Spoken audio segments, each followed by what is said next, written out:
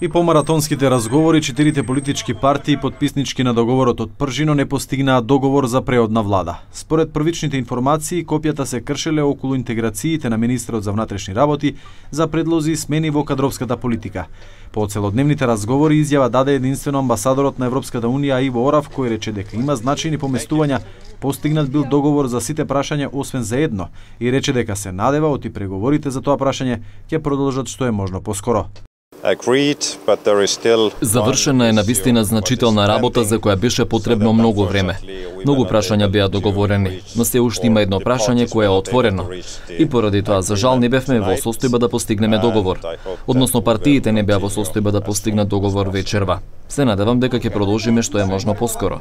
Новинарите кои со часови чекаа пред резиденцијата на Европската Унија во Пржино инсистираа Орав да го каже спорното прашање, но тој не одговори.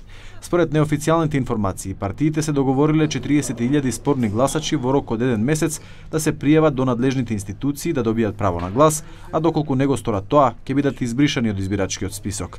Инаку преговорите почнаа во 13 часот и 30 минути, пошто следуваа две паузи. Првата некаде околу 18 часот, а втората еден час пред полноќ. Представниците на политичките партии не беа расположени за изјави. Господине Тодоров, има нешто ново? Господине Груби? Нешто? По. Има ли договор? Има ли договор? Камар беше? Продолжимо 12.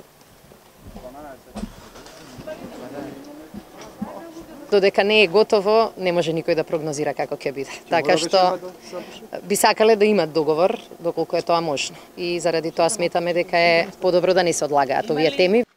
Доколку биде постигнат договор, треба да биде организирана лидерска средба на која ќе бидат дадени гаранции дека условите се исполнети, а потоа треба да се одреди датум за избори.